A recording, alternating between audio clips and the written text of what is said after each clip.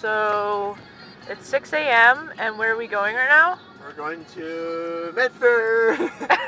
well, San Fran is in LA. And um, how much sleep did Amanda get? One hour. I believe one hour. How much sleep did Henry get? Six hours. Woohoo! Um, We're driving to the border now. Yep, and I'm definitely gonna sleep in the car. Because as you can tell, I pretty much look dead right now.